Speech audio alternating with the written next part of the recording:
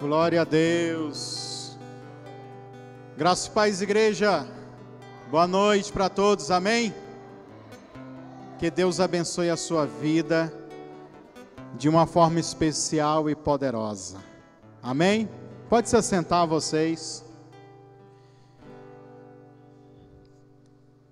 Hoje, mais um dia de oração. Nós estamos ainda aí dentro da campanha Pão da Revelação, uma campanha fortíssima de libertação, de cura, algo para a gente receber de Deus, né? E hoje, novamente, tem aquele trocadilho, né? Vocês que estão aqui agora nos assistindo pelo YouTube, já assisti uma, uma oração ontem. Vocês estão aqui na igreja, é, foi postado agora um vídeo, né? Troca. Quando você chegar em casa, você não precisa fazer a oração de que a qual entrou no canal. Deixa para fazer amanhã. E o pessoal vai inverter, né? Os irmãos já sabem disso. Preste bem atenção, meu irmão. Eu vou já pedir aí o pastor Denis, a Nayara, que vai entregar o pão para você. O suco de uva você pega, segura aí. Pode ficar sentado por enquanto, né? Daqui a pouco eu falo o pessoal ficar em pé. Mas já vai pegando aí, tá bom? Quem não é inscrito no nosso canal, se inscreva aí no canal, ativa o sininho das notificações. Você que está na página do Facebook, siga a página, curta, compartilhe, tá? Manda para todo mundo, porque eu tenho certeza que vai ser bênção, né? Para a vida de cada um de vocês. Chame pessoas para vir participar desta campanha, porque vai ser abençoadíssima em nome de Jesus, tá? Pode distribuir lá, pastor. Pode ir. Os irmãos aí do, da internet, do YouTube, do Facebook, já pega aí o pão Pega aí o suco de uva ou a água. Não sei como é vocês estão usando aí, tá? Esperar os irmãos aqui da igreja pegar. Todo mundo vai marcando joinha, vai marcando gostei, vai deixando like. Já já nós teremos uma palavra aqui também com o irmão Fernando, vai trazer uma palavra para vocês. Inclusive, quem vai fazer a oração aqui conosco no Facebook no YouTube, fica até o final do vídeo, tá? Mesmo quando finalizar essa primeira parte da oração. Fique até o final para você acompanhar a palavra de Deus através da vida do Fernando. Tenho certeza que sua, sua alma vai ser edificada de uma forma especial e toda poderosa, tá? Irmãos, deixa eu falar algo para vocês enquanto vocês peguem, vão pegando o pão aqui, o, o suco de uva. No mês que vem, bem provável no dia 10 do próximo mês, tá? Bem provável. Mas eu vou estar avisando aí agora, todos os cultos eu vou falar. Deus colocou no meu coração há algum tempo, e foi ministração lá no Rio de Janeiro sobre humilhação. Eu vou entrar num propósito de jejum e de oração durante dez dias, no mês que vem, novembro. E serão dez dias de jejum e oração que eu vou fazer só na água, o jejum. Para quê, pastor? Para a gente vencer a humilhação. Houve uma fase da minha vida que ministerialmente e financeiramente estava muito ruim. E eu estava já de saco cheio, tanta humilhação, devendo muito, passando necessidade, carro quebrado. Sim, terrível, terrível, terrível, terrível. E eu falei para o Senhor: Senhor, o Senhor muda a minha história ou não dá? Vou procurar outra coisa para fazer da vida. E aí eu levantei esse propósito. Foi um altar de oração. Inclusive, lá no canal tem um vídeo, no dia que eu e a pastora subiu o Monte Serrinha ali, para entregar o jejum. Depois eu vou até resgatar esse vídeo e vou colocar no YouTube. Nós entregando o jejum lá. Foi muito forte. Questão de quatro, cinco meses depois, Deus começou a fazer grandes milagres na nossa vida. E um dos milagres foi o canal do, do YouTube nosso começar a viralizar os vídeos e muita gente, muita visualização aí alavancou muita coisa, outras coisas destravaram, foi muito forte. porque eu tinha tido uma experiência de revelação e também de sonho. Humilhação. Uma irmã orou por mim e falou: Exu, Exu da humilhação. Foi muito forte. Depois eu tive um sonho, e é isso que eu vou contar. Domingo agora, próximo domingo, eu vou contar tudo isso para vocês aqui no culto. Vou estar gravando para postar também para os irmãos da internet estar acompanhando. E vou trazer uma pregação sobre isso, para romper com a humilhação. Aí, seja em que área da sua vida você se sente humilhado, talvez é na vida amorosa, talvez é na vida financeira, como eu, talvez é na saúde ou enfermidade, doenças, não sei. Nós vamos sair desse lugar de humilhação. E eu sei que Deus vai fazer grandes coisas. Então, prepare o seu coração para você entrar nesse propósito também. Tá bom? Vamos ficar de pé. Quem está aí em casa, pegue o pão. E vamos orar. Repita assim comigo, ó. Senhor Jesus, neste momento, eu coloco agora, na tua presença, a minha vida em mais esse dia de oração, de campanha, eu te peço, Jesus, revela-me a tua glória, a tua luz, a luz que brilha na escuridão. Senhor, revelação significa trazer aquilo que está oculto, que está escondido, e expor, trazer o que está em trevas para a luz. E neste momento, eu quero que o Senhor traga para a luz tudo aquilo que está na minha saúde, seja ela física, emocional, psicológica, o que tiver sustentando, fortalecendo enfermidades e doenças, e até mesmo aquelas doenças que não têm sintomas. Mas, Senhor, eu te invoco, vem, porque o Senhor é Jeová Rafá.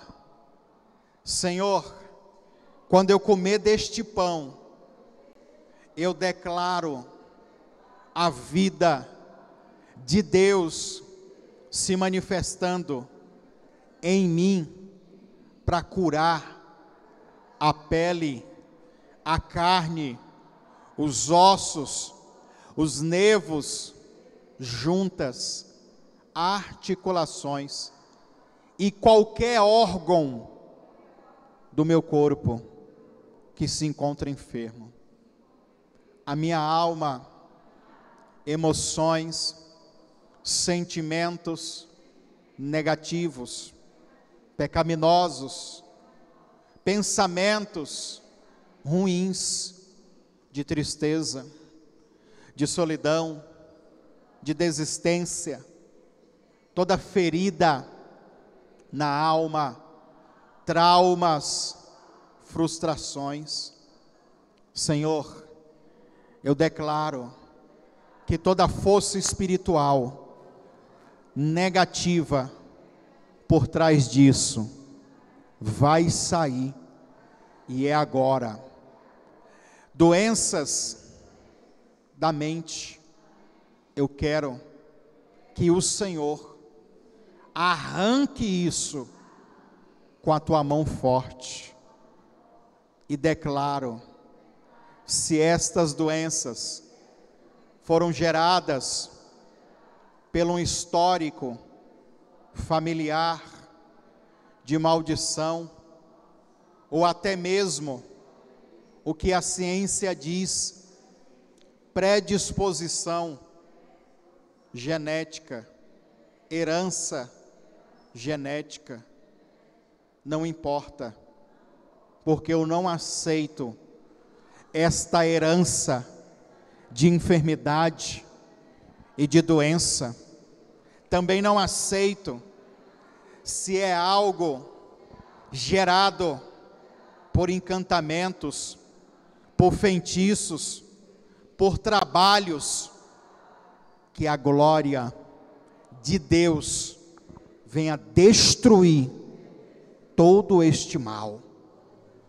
Senhor, quando eu comer deste pão, o que estiver amarrando a minha vida amorosa, trabalhando contra para eu não ser feliz com ninguém, para eu viver um histórico de fracasso, de frustração, de decepção, de traição, de violência, de abusos.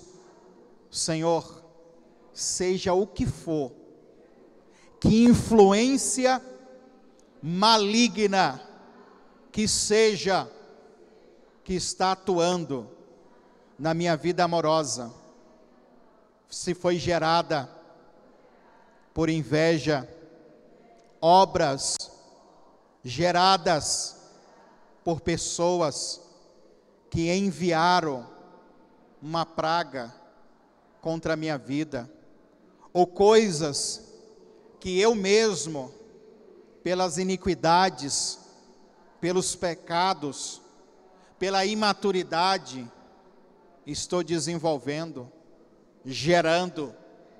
Eu quero agora que tudo que está por trás, fortalecendo este mal, para mim não ser feliz na vida amorosa.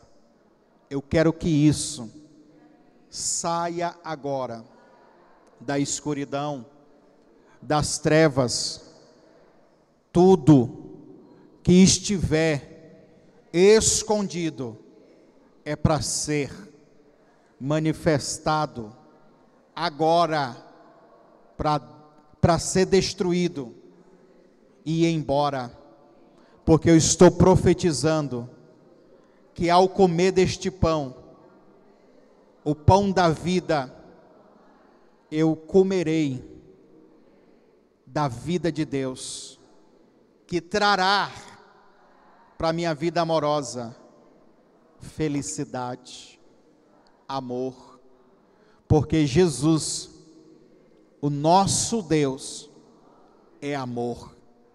Senhor, também declaro, quando eu comer deste pão, eu estou declarando o que tiver escondido, bloqueando, dificultando, amarrando os meus caminhos na vida financeira, portas fechadas, caminhos amarrados, obstruídos. Senhor, miséria, falência, pobreza, acúmulo de dívida. Chega eu não quero isso mais na minha vida financeira. Eu quero declarar: seja destruído todo o mal que tranca, que amarra e que impede as portas se abrirem financeiramente, seja no meu trabalho, na profissão, empresa, causas, sonhos e projetos que eu tenho para minha vida financeira. O que tiver impedindo é para se manifestar e ir embora destruído, derrotado. Senhor, quando eu comer deste pão, eu estou declarando também nesta consagração, que a minha família está sendo alcançada.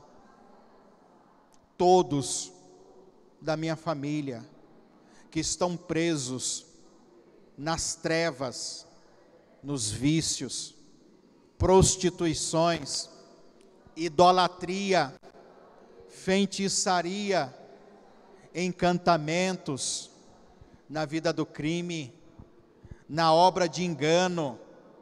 Senhor, todo o histórico que se repete dentro da minha família, eu estou falando de coisas que aconteceu com os antepassados e está se repetindo nesta geração, na vida amorosa, nas finanças, na saúde, na vida espiritual. Maldições repetitivas.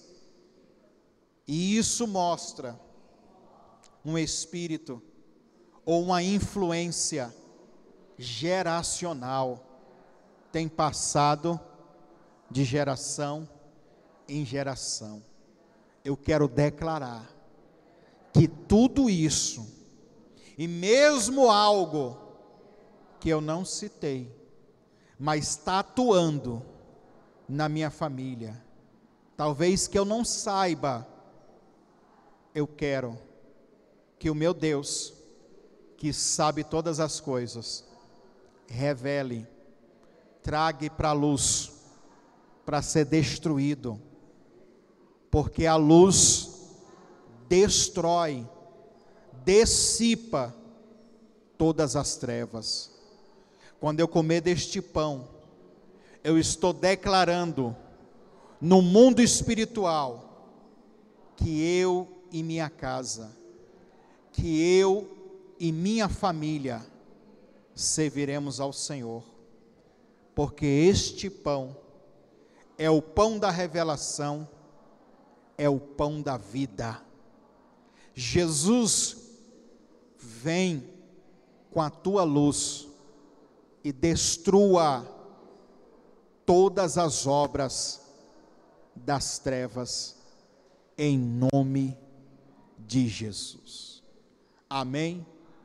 Você já sabe, você vai pegar o pão, vai mergulhar ele dentro dessa, desse suco ou da água e vai comer. Coma. Quem quiser beber o resto do suco, beba a água, quem está em casa.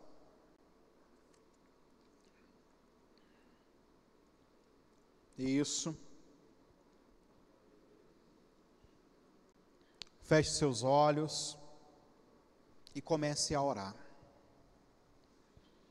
Comece a profetizar. Comece a liberar palavras que expressa um, um desejo. Esses dias atrás eu preguei aqui que o sentido original da palavra oração ou súplica é um desejo. É um desejo que você expressa com palavras. E a pergunta que eu te faço é: o que é que você está desejando nessa campanha? O que é que você está desejando de receber de Deus para a tua vida? Fale com Ele nesse momento.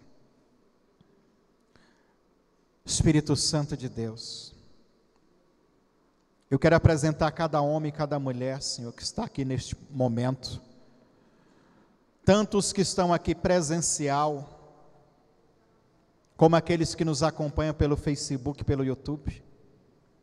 Toca. Toca ele, toca ela agora, Senhor. Traz agora a manifestação da tua luz. Traz a manifestação do teu poder agora e vai tocando essa pessoa. O que está por trás dessa enfermidade, dessa doença que às vezes essa pessoa vai no médico, faz exame, o exame não dá nada, ou até consta alguma coisa no exame. Aí faz o tratamento que não resolve, que não adianta. Aí tem os remédios que são apenas paliativos, que não curam. Nós sabemos que aquilo que é impossível para os homens, para Deus não é. Nós servimos a um Deus que ele é Rafá, Jeová Rafá, o Deus que sara, o Deus que cura. Vem, Senhor, e toca essa pessoa para curá-lo. Removendo agora tumores, nódulos, caroço, hérnia, cistos, bactéria, alergia, atrofia, câncer, dores que essa pessoa sente, meu Pai, que essas dores desapareçam agora. Dores de cabeça, dor na nuca, dor no ombro, dor nos pés, nas pernas, dores nas costas, na coluna. Vai tocando, Senhor, e vai curando essa pessoa agora. Vai tocando e vai curando esse homem, essa mulher agora. Como nós citamos no primeiro momento de oração, doenças da alma, toda tristeza, toda angústia, solidão, depressão, ansiedade, nervosismo, pânico, medo, pavor, desespero, desesperança, desejo de morte, de sumir, de desaparecer, problemas psicológicos, Alzheimer, Parkinson, histeria, esquizofrenia, bipolaridade, demência. Vai tocando, Senhor. E arranca agora, Senhor, todo o mal. E qualquer enfermidade que eu não citei o nome aqui. Mas esse homem, essa mulher está citando neste momento, Senhor. E talvez essa doença que foi gerada na feitiçaria, nos encantamentos, na bruxaria, demônios que foram pagos, que receberam, uma ordem que nós damos agora. Solta essa pessoa agora. Solta ele, solta ela agora. Perca a tua força. Perca a tua influência agora. Declaramos cura Seja tocado agora, meu irmão. Seja tocado agora, minha irmã. Senhor, toca também. Porque nós não aceitamos mais. Traz para a luz agora. É para se manifestar agora e não resistir. Chorabacantorobaçu. Você que tem atuado nessa vida amorosa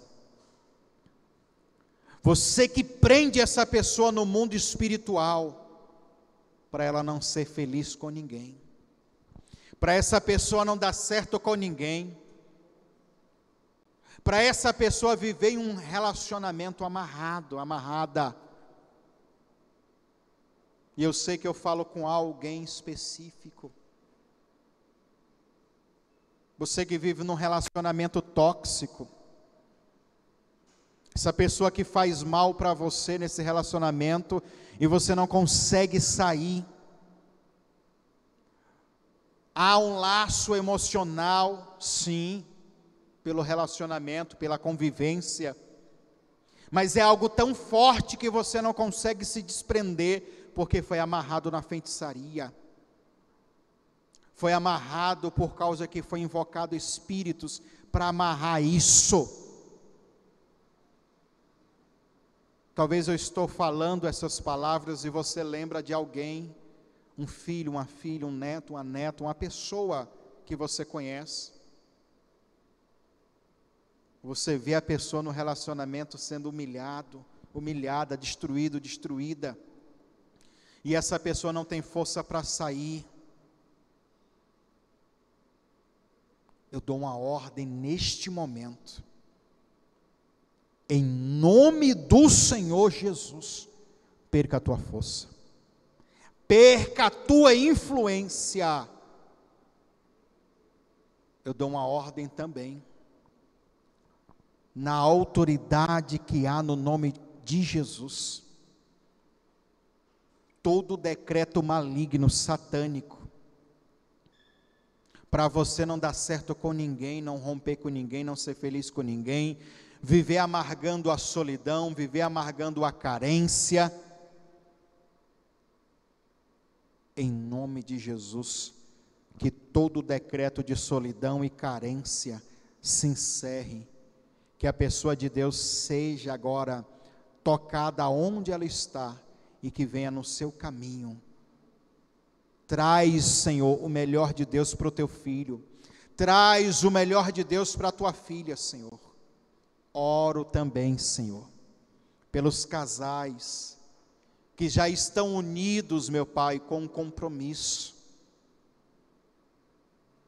Mas há brigas, há discussões, há desentendimento, talvez já há traição Talvez está perto porque tem ameaças de divórcio, de separação.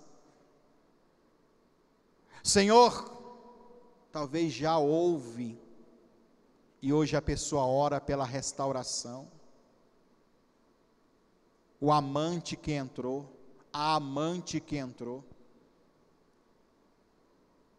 Nós damos ordem para essa força maligna, demoníaca de rituais, de feitiçaria, de bruxaria, de, de encantamentos. Seja destruída agora essas obras.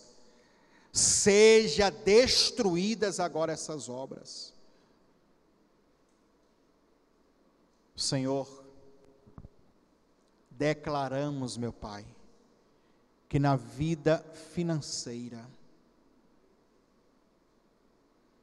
Abra os céus, meu Pai. Revela a tua bondade. Revela a tua misericórdia. Estende as mãos assim, irmãos. Diga assim: Senhor, eu quero receber agora, nas minhas mãos, a resposta desta campanha para a minha vida financeira Agora você vai determinar o que é que você está pedindo. Senhor, ouve o que o teu filho vai falar. Ouve o que a tua filha vai falar em relação ao financeiro agora.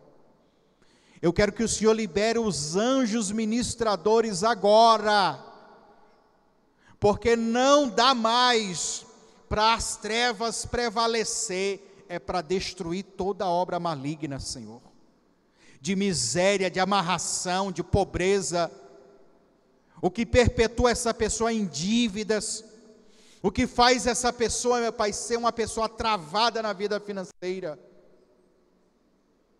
Talvez eu estou falando com pessoas que têm preparo, têm estudo, têm curso, têm um monte de coisas, têm graduações, têm mestrado, tem inteligência, tem estratégias, mas não entende por que, que não consegue conquistar, não entende por que, que não vai, que não funciona. Outras pessoas menos capacitadas, que não têm a habilidade, a destreza, que o teu filho e a tua filha têm, estão prosperando. Eu declaro agora que toda essa amarração seja quebrada agora, destruída agora, todo o mal espírito que tranca, que amarra, que dificulta, que bloqueia, que recebeu, que foi pago, que foi invocado, que foi adorado, para entrar na vida dessa pessoa, amarrar tudo, para ele perder tudo, para ela perder tudo, ou nunca conquistar nada. Nós repreendemos você agora. Te manifesta para tu sair. Solta esta causa judicial de pensão, de indenização, de aposentadoria, de herança, direito trabalhista, essa propriedade que o teu filho quer alugar, que a tua filha quer alugar, que, o, que quer vender, e o negócio fica amarrado, toca agora, Senhor. A porta de emprego que não se abre, abre agora, Jesus. O que estiver em trevas, gerado em encruzilhada, em mata virgem, no cemitério, na pedreira, na cachoeira, na beira da praia, num templo, num terreiro, numa casa, numa fazenda, que entidade foi, que demônio foi, que espírito recebeu. Acabou. Acabou. Perca a tua força, perca a tua influência, leva todo o teu mal embora e as obras que você tem realizado que tem manifestado na vida dessa pessoa, seja na finanças, na vida financeira, seja na saúde, seja na vida amorosa, seja um trabalho para destruir a família, tudo isso, em nome de Jesus, nós quebramos agora em oração, declaramos agora todo este mal destruído, saia, saia e não resista. Não resista. Solta. Profetizamos agora a libertação. Profetizamos agora a cura. Em nome de Jesus. Dê uma salva de palmas para Jesus. Glória a Deus. Pode se assentar, fica à vontade. Os irmãos aqui na internet continuam aí. Fernando agora vai, pode vir, Fernando, vai trazer uma palavra. Marca o joinha, marca o gostei, compartilha, manda para todo mundo, tá bom? E em oração a gente continua, a campanha está em pleno vapor. Não pare, continue, vá até o final, que Deus vai honrar. Amém? Vamos receber, igreja, o Fernando com a salva de palmas para Jesus.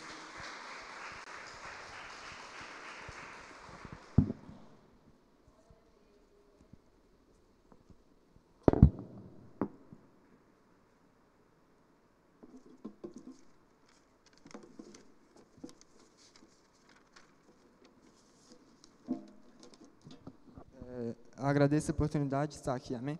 Estamos na Igreja Campada do Senhor Jesus e eu gostaria de estar convidando que os irmãos possam estar abrindo a Bíblia, lá em João, capítulo 4, versículo 23.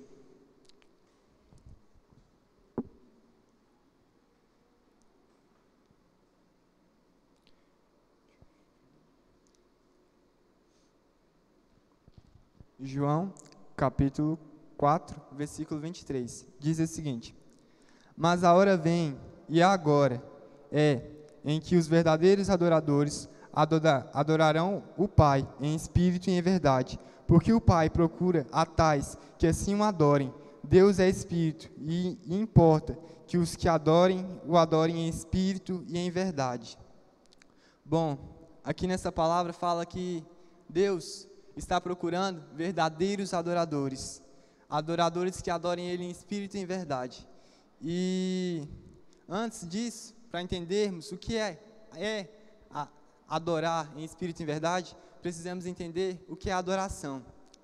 É, vocês que estão aqui presentes, vocês que estão pela internet, quando eu, a gente vem à igreja, a gente vem ao culto, nós viemos cultuar, nós viemos adorar a Deus. E esse é o papel pelo qual a gente se reúne aqui na igreja. Cada um de vocês vem em busca de, com um único foco, adorar a Deus. A palavra, ela serve justamente para isso, para conhecermos Deus. A palavra serve para conhecermos, para podermos adorar. Pois como podemos adorar a Deus se não o conhecemos?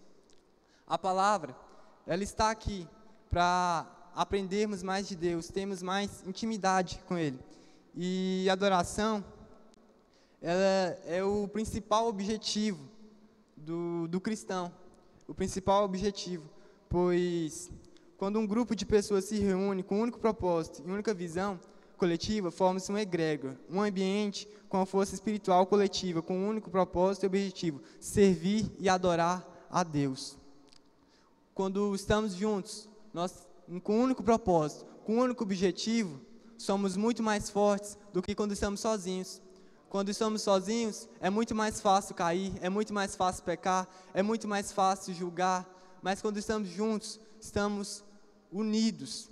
A força é maior, a união é maior. Por isso, viemos à igreja a buscar a Deus sem interrupções. Quando vemos, vamos a algum local sem, sem um foco, sem um propósito, a gente não faz nada, a gente presta atenção em tudo, menos o que é necessário.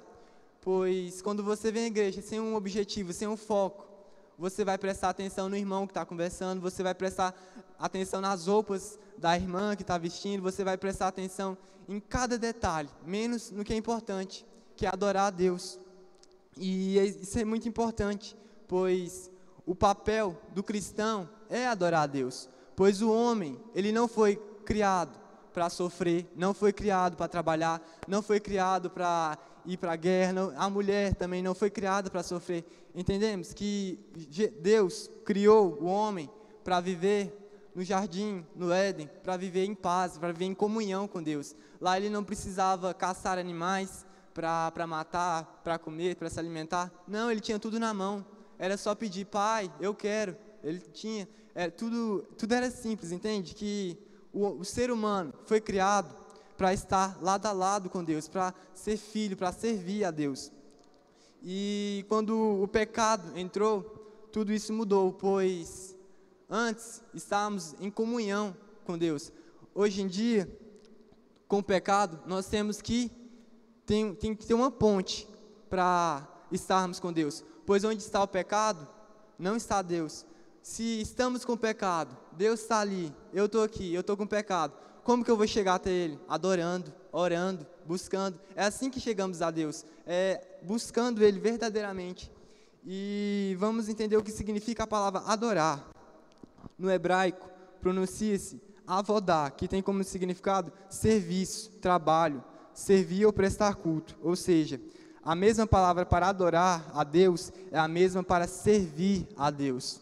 Isso que estamos fazendo é servir a Deus, vir ao culto para cultuar a Deus, fazer uma oração a Deus, adorar a Deus, cantar a Deus, ler a Bíblia com o propósito de, de servir, com um propósito que não é para a gente, mas sim para Ele, é adorar a Deus. Vocês compreendem que para Deus, Ele nos deu o um único propósito, servir a Deus. E como podemos servir a Deus? Ajudando o próximo. Quando você ajuda o próximo, quando você ajuda seu irmão, quando você faz a, o objetivo da palavra, que é servir, que é adorar. Mas o problema de hoje é que muitas igrejas estão vazias, é porque o cristão não quer servir, ele quer ser servido.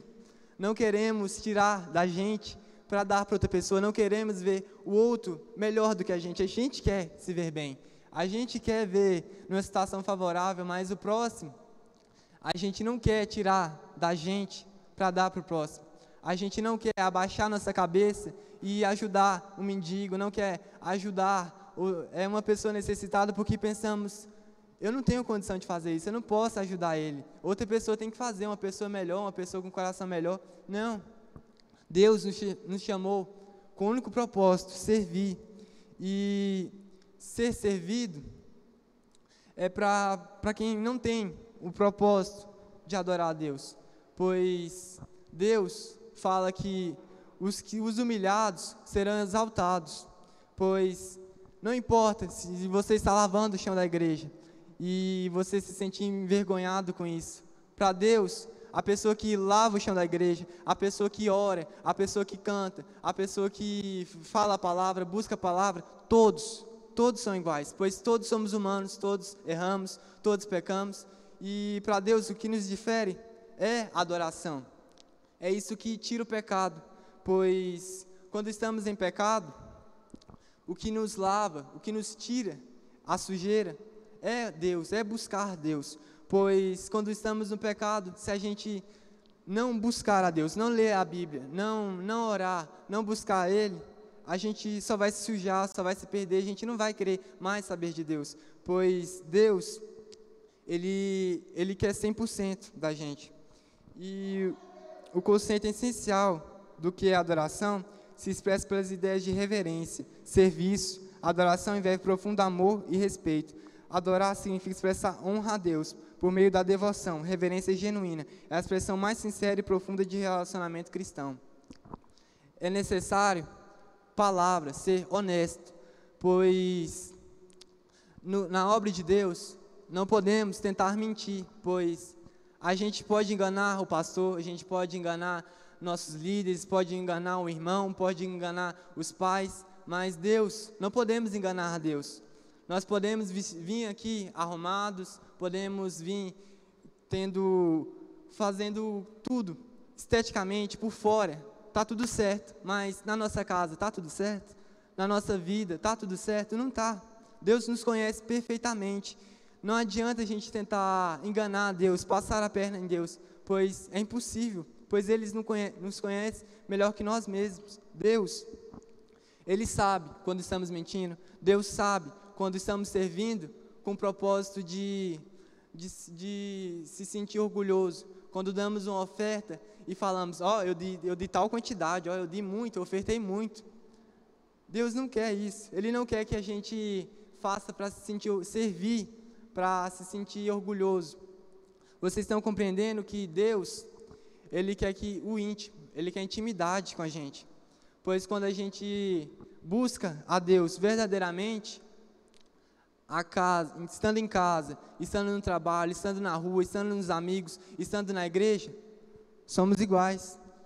Não mudamos as nossas atitudes quando servimos verdadeiramente a Deus. Se somos fiéis a Deus na igreja, vamos ser fiéis a Deus em casa, em casa seja onde for, pois é necessário compromisso com Deus.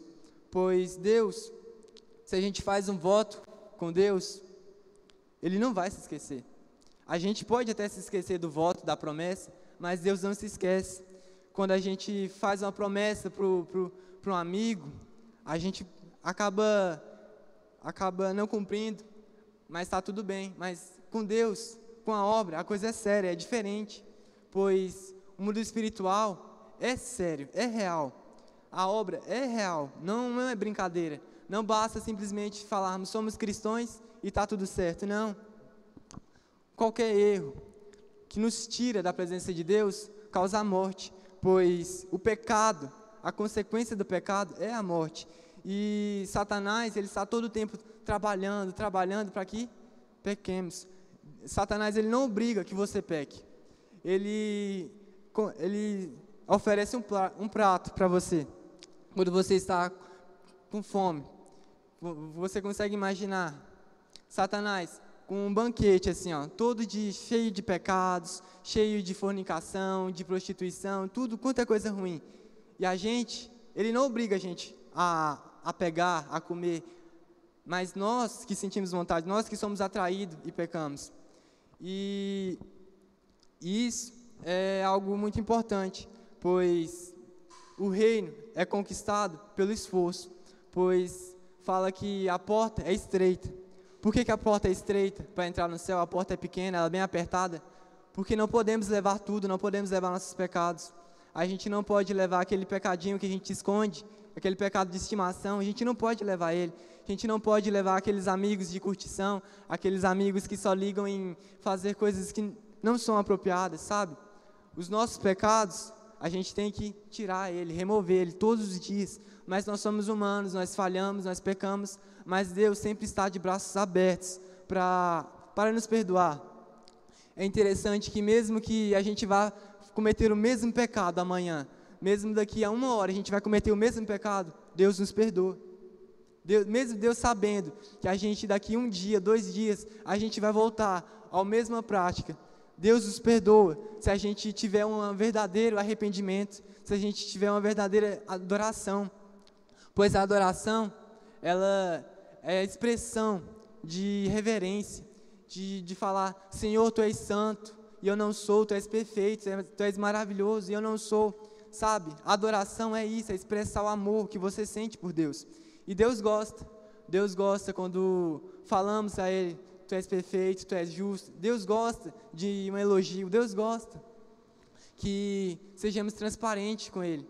Pois quem ama elogia, quem ama, não expressa somente em palavras, expressa em ações. Quem ama de verdade, não adianta falar eu te amo e bater na pessoa, não adianta falar eu te amo e desvalorizar a pessoa.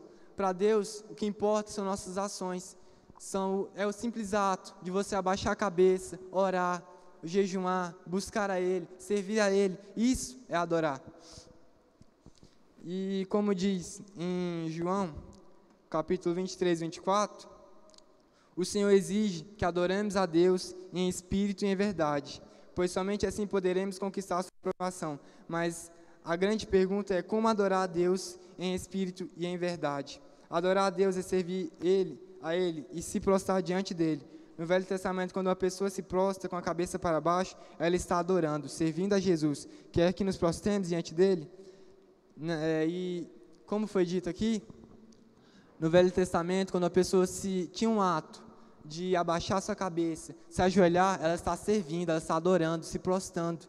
E isso é adorar. Mas a adoração, ela depende não simplesmente dos do nossos, atos de levantar a mão, bater palma, rodopiar, gritar. Não, ela depende do nosso coração, nosso sentimento deve estar ligado. A nossa mente deve estar ligada. Não adianta a gente fazer o reboliço, dançar para Deus, mas o nosso coração, nossa mente não, não é adorar a Deus. É simplesmente fazer porque o irmão está fazendo.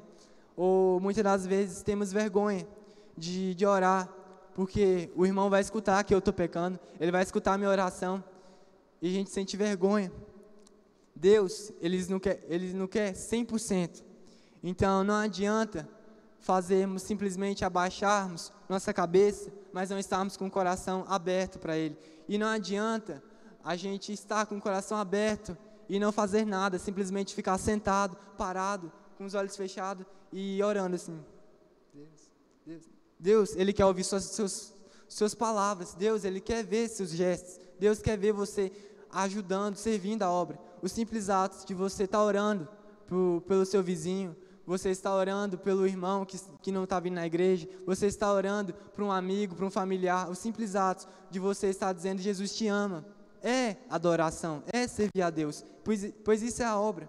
A obra, ela não é feita apenas de uma pessoa, não é só o pastor que carrega a igreja nas costas sozinho, não, pois se fosse somente ele, não teria igreja. A igreja é composta por todos nós, pois somos um, uma unidade. Pois o que adianta estar uma pessoa puxando um carro e fazendo toda sua força, aquele carro não vai sair do lugar. Mas se juntarem muitas pessoas, muitas, e fazerem pouco esforço, aquele carro sai.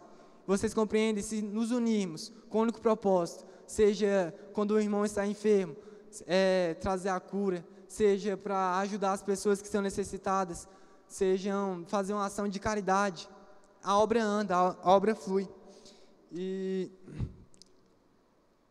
o, o lugar onde as pessoas devem adorar a Deus, não importa, podemos adorar a Ele, seja na igreja, em casa, na rua, no ônibus, em qualquer lugar, pois não basta buscarmos Ele somente na igreja, devemos andar nos seus caminhos, em todos os lugares, em todo o tempo. Às vezes a gente pensa o seguinte, quando pecamos, a gente fala, não, eu acabei de pecar, Agora não adianta pedir perdão. O que, eu vou fazer? Eu vou pecar mais. Eu já estou na lama, vou me sujar mais. Nós pecamos todo o tempo, mesmo inconscientemente, mesmo não querendo pecar, a gente peca. Tendo um simples pensamento, a gente peca. Tendo simples atos que magoa aquela pessoa, a gente peca. Então, o que devemos fazer?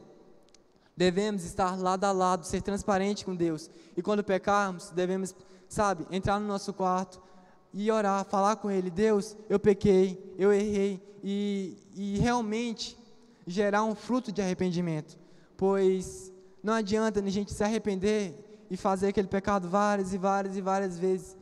Não adianta, porque não estamos arrependidos de verdade. E o vício, a iniquidade, é algo que destrói a vida. A pessoa se sente culpada pelo, pelo que ela está fazendo, a pessoa ela se sente ruim, mas ela não consegue parar.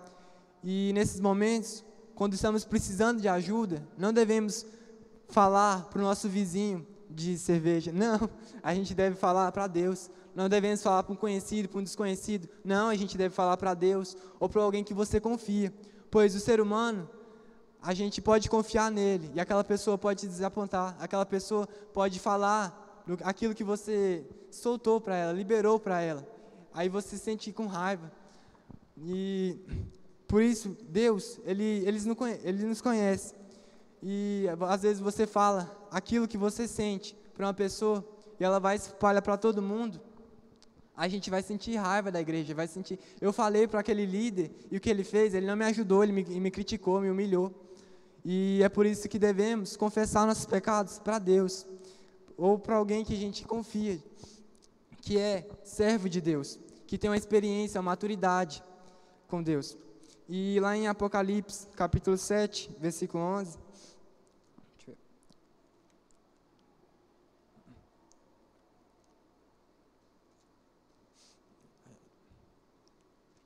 Só um momento.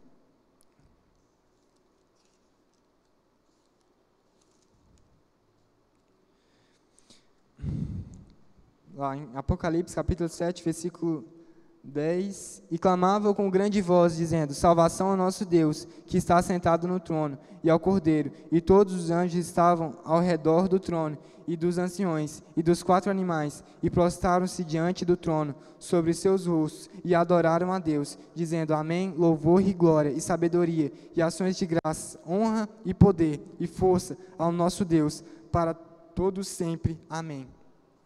Aqui fala que os anjos eles se prostam diante a Deus, adorando, buscando verdadeiramente. Pois quando nós, nós estamos aqui com um propósito, cada um tem um dom entregado por Deus. Às vezes você pensa, não, eu sou inútil, eu não sirvo para nada. Não, você tem um dom, você é especial, você é importante para Deus. Pois Deus, ele, ele chamou a todos. Ele chamou o drogado, ele chamou o traficante, ele chamou o pedófilo, ele chamou a todos. Mas nem todos vieram buscar a Ele, nem todos vieram adorar a Deus. Isso que nos difere de todos que estão lá fora, todos que estão no pecado, é porque o que quer buscar a Deus, ele vai até Deus. Não adianta a gente deitar na cama e simplesmente esperar que Deus desça do céu e dê o um milagre, faça tudo, se a gente não, não merecer, não buscar. Entende? Não adianta a gente querer que Deus venha até nós sem buscarmos. Quem começa a buscar a Deus somos nós. Não é Deus que começa nos buscando, somos nós que buscamos a Ele, nós que temos a iniciativa de dizer: Deus, me ajuda, Deus, me socorre, Deus, eu preciso de você. E é isso que Deus quer, Ele quer que a gente busque a Ele, pois não é Deus que precisa mais da gente, é nós que precisamos mais dele, nós que necessitamos da proteção dele, nós que precisamos do amor dele, pois Deus, ele é Pai, Deus, ele, ele é, Deus, é justo, pois Deus, ele não está do lado, ele não é, ele é neutro em relação a quem é pecador e não, perdão, ele Deus ele é neutro, né? A questão, a pessoa é boa, ela é boa, mas e a pessoa ela é má, ela é má. Mas, se aquela pessoa má buscar a Deus, aquela pessoa vai receber o um milagre. E aquela pessoa boa não buscar a Deus, mas ela é boa, ela não vai receber. Por quê? Porque ela não buscou a Deus. Entendeu? Deus, ele é justo naqueles que o servem, naqueles que o buscam. Deus, ele vai abençoar a quem pede. E as palavras de Deus nos mostram o caminho da prática. Quando oramos, devemos ter o cuidado de falar com Deus de coração, falar honestamente e confiar a Deus, nossas dificuldades, prática e estado real. E quando lemos a Bíblia, cantamos hinos, frequentemente a igreja, ou ouvimos sermões, nosso coração deve se concentrar em buscar a verdade, buscar a iluminação e esclarecimento do Espírito Santo e contemplar as palavras de Deus. É, é como foi dito aqui, devemos buscar nosso, de coração, em verdade, pois, sabe, quando não adianta quantos anos você vem à igreja, cinco anos, dez anos, se o seu coração não está aberto para receber a palavra, você nunca vai mudar, pois se você está disposto a mudar, você tem que começar a mudar é, pela, pela mente, pelas ações, pois ninguém se torna se torna diferente de um dia para a noite. Não, há um processo. E esse processo é feito aqui na igreja, é feito nas nossas vidas, no cotidiano, buscando, adorando, sabe? Lendo a Bíblia, a gente vai é, ganhando conhecimento, ganhando autoridade. E ser cristão não é algo que acontece de uma hora para outra, não é, não, não é simplesmente você chega aqui na frente e fala, eu aceito Jesus e continua com os mesmos atos, sua vida vai continuar a mesma. Pois depende da gente. Pois Deus, ele só quer que a gente faça a parte nossa, pois a dele pode ter certeza que ele vai fazer. E lá em Lucas, capítulo 7, versículo 36.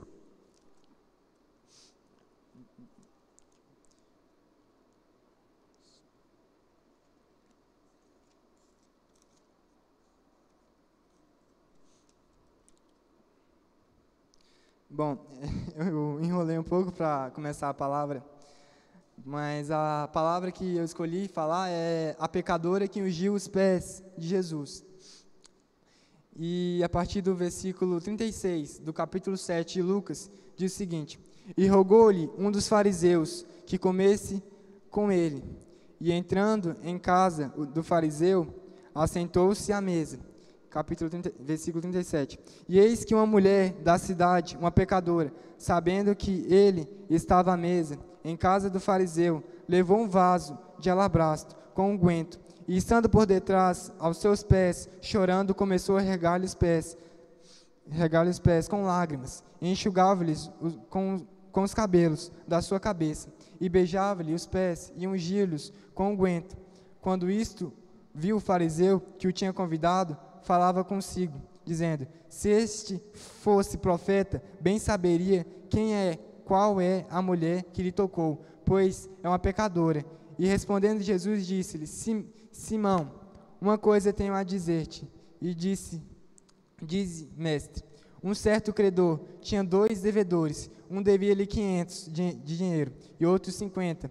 E não tendo eles com que pagar, perdoou-lhe a ambos. Dize, pois, qual deles o amará mais? E Simeão respondendo, disse: Tenho para mim que aquele que a quem mais perdoou. E ele lhe disse: Julgaste bem.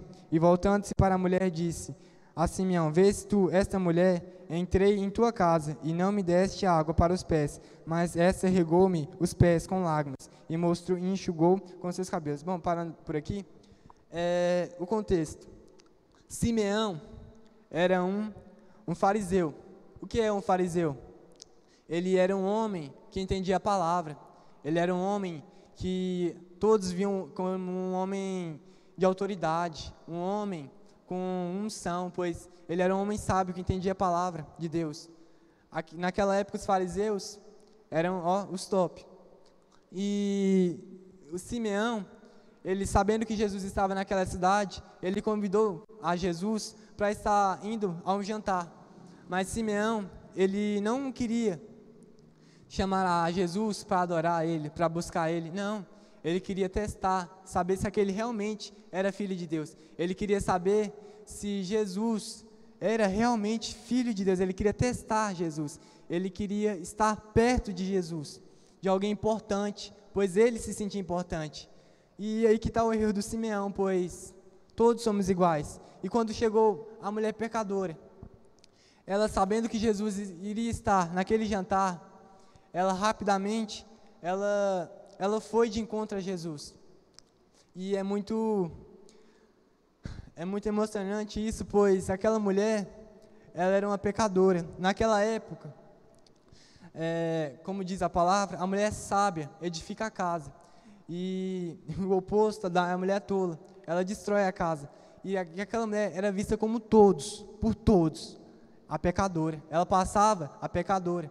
E naquela época, as pessoas se afastavam do, das pecadores, dos pecadores. Eles não queriam estar perto. E Jesus esteve face a face com aquela mulher. Jesus tocou naquela mulher. E os, e os fariseus se perguntando: ele não é, não é profeta, ele não é filho de Deus. Porque se ele fosse filho de Deus, ele ia saber que aquela mulher é uma pecadora, ele ia saber que ela, ela comete pecados, que aquela mulher é suja, ela é impura. Mas Jesus, ele não se importa com o pecado, ele se importa com, com nós em primeiro lugar. Deus, ele ama o pecador, ele não é o pecado. Deus, ele nos cuida, ele nos, ele nos limpa. E aquela mulher, ela, dizendo, ela adorou, ela se prostrou a Jesus ela começou a derramar lágrimas em Jesus, ela começou a adorar Jesus, e aquelas lágrimas eram lágrimas de felicidade. Eram lágrimas de alegria porque Jesus a aceitou, mesmo ela sendo uma pecadora, mesmo todos sabendo que ela era uma pecadora, ela, ela foi aceita por Jesus. E entendi que isso começou pela fé, pois ela sabia que ela era uma pecadora, mas mesmo assim, na sua mente, ela falou: Eu vou adorar Jesus, eu vou lá e vou me prostrar a Ele, eu vou ungir a Jesus. Mesmo sabendo que ela podia ser eh, negligenciada, podia ser julgada, ela teve fé e acreditou que Jesus ia acolher ela, e Ele acolheu.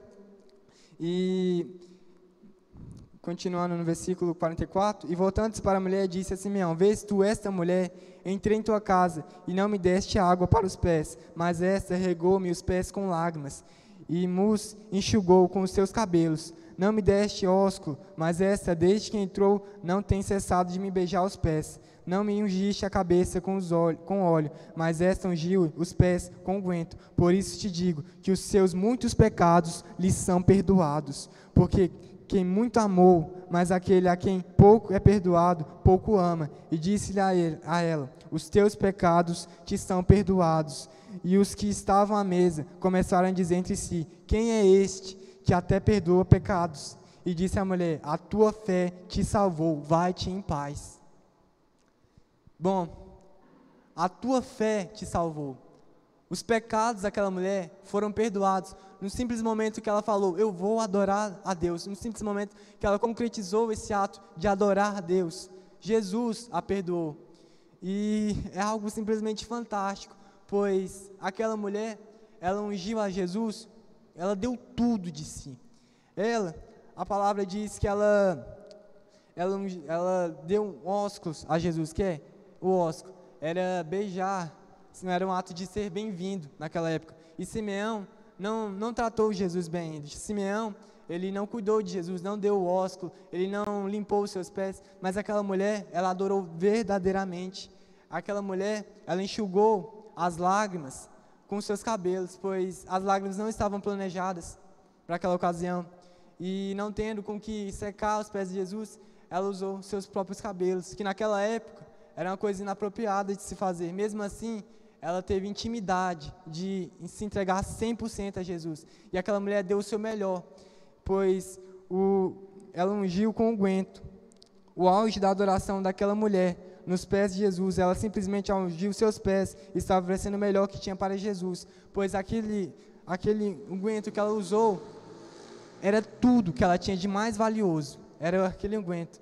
E ela deu tudo de si. E é essa palavra que eu tenho a dar, é entregar verdadeiramente tudo, pois isso que é ser um verdadeiro adorador, é servir a Deus verdadeiramente. E eu agradeço a oportunidade. Amém?